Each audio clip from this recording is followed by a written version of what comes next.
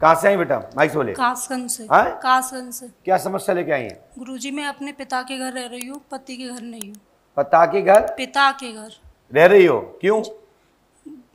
गुरुजी मेरे पति ने मुकदमा डाल रखा है। आपके ऊपर? जी। तो आप पति के साथ रहना चाहती हो तलाक देना चाहती हो? गुरुजी मैं तो उनके पास रहना चाहती हूँ। अच्छा इसकी पर देखिए। अंजलि देवी पिता का नाम सतंत्र कुमार है माँ का नाम सर्विस देवी है। यह प्रमाण है।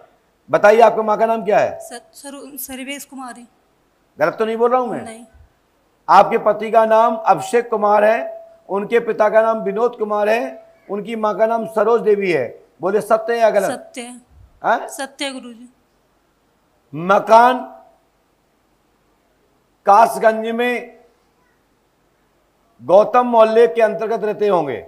जी गुरु जी आपके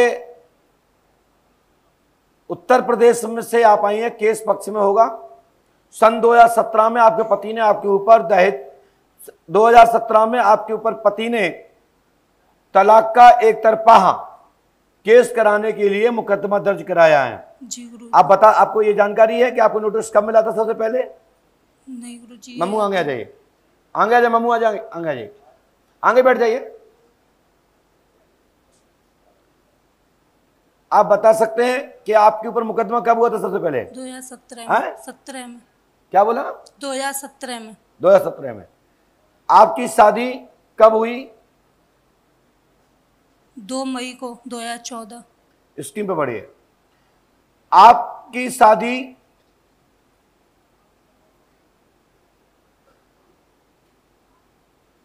दो मई 2014 में हुई। उसके पश्चात दो महीने बाद आपको पति ने आपको छोड़ दिया। जी गुरुजी। बोलो हाँ या ना? जी गुरुजी सही बात है। क्योंकि आपकी बातचीत मोनू नाम के यादव लड़के से बात होती थी लेकिन आप करेक्टरलेस एवं चरित्रहीन नहीं है। लेकिन बातचीत होती थी एक आकर्षण की स्थिति बन रही थी लेकिन आपके पति ने आप पर चरित्र का आरोप लगाकर और उन्होंने एक रिकॉर्डिंग आपको मोबाइल दे रखा उसमें गुप्त स्क्रीन पर रिकॉर्डिंग नहीं चलने वाली गुप्त मोड पर स्क्रीन चल रही थी और आपकी हर बात को नोटिस कर रिकॉर्ड कर लिया गया है। जी और उसी को देखते हुए उसी का आधार बना करके उन्होंने आपको चरित्रहीन घोषित कर आपको तलाक देने की घोषणा कर दी और आपको तलाक दे दिया। तलाक की स्थिति बना दी। जी। यदि आप अपने पति के प्रति श्रद्धा आस्था और विश्वास वास्तविक दिल से है और ये हमारी बात सत्य है जो मैं बता रहा हूँ। तो आप यहाँ आठ दिन रुकिए आपके पति तक पहुँचाने के लिए एक प्रयास किया जाएगा। वो भी एक परसेंट। बाकी 99 परसेंट नाइन्टी पॉइंट आपका तलाक का योग है। आगे ईश्वर मालिक है। बाकी के मैं कुछ बोलूँगा नहीं। आप बहुत समझदार हैं और आपके जहाँ तक जो वीडियो जाएगा वो भी समझदार हैं। मैं इतना कह देता हूँ कि मैं घोषणा करता हूँ कि ये लड़की करेक्टरलेस, जिसको कहा जाता है, वह नहीं है। एक प्रेम प्रसंग में बातचीत होना अलग चीज़ है, लेकिन अपवित्रता से नहीं गुजरी, ये मैं गारंटी देता हूँ।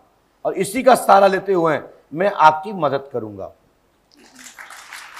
आपको अपने पति के प्रति श्रद्धा है। आस्था के 2014 के बाद यदि पति छोड़ते हैं और इस समय 2022 में जा रहे हैं, आठ वर्ष होने जा रहे हैं तो ये बहुत बड़ी बात है कि बहुत कम ऐसी लड़कियाँ होती हैं ऐसे बहुत कम ऐसे लड़के होते हैं जो अपने व्यक्ति को याद करते हैं और उनके लिए जीते हैं और लड़ाई लड़ते हैं।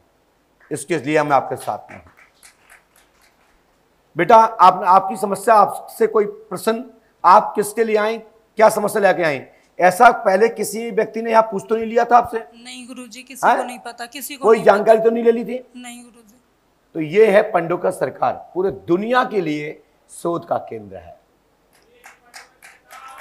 इसके लिए बेटा आपको तीन रामायण होंगी तीन नारियल बंधन होंगे तीन दिन का हवन होगा।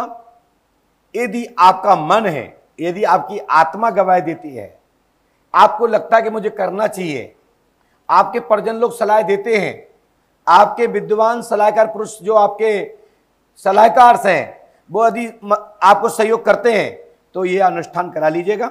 मैं गारंटी देता हूँ सफलता मिलेगी। आशीर्वाद है।